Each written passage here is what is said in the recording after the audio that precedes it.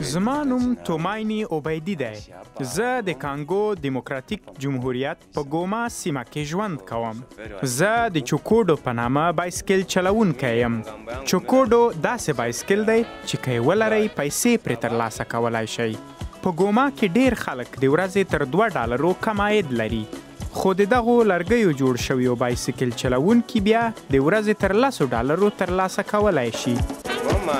ګوما ښه ځای دی، دلته د بېلابېلو هېوادونو خلک ژوند کوي، موږ هم دلته ژوند کوو. زه داسې مشتریان لرم چې د سهار زنګ راته ووهي او راڅخه غواړي چې ورشم او توکي یې له یوه ځایه بل ته یوسم. زه ځانګړي توکي نه وړم، هر ډول توکي وړم.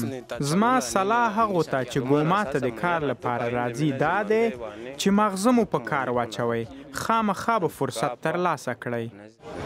زه نه غواړم زما ماشومان د چکوډو چلوونکي شي، ډېر خلک ترې لوېږي او مړه کېږي. دلته ګڼ شمېر ټکرونه کېږي. که زه لږ څه پیسې ترلاسه کړم، غواړم موټرسایکل راونیسم او بالاخره یو بس راونیسم او خپل کار ته مې دوام ورکړم.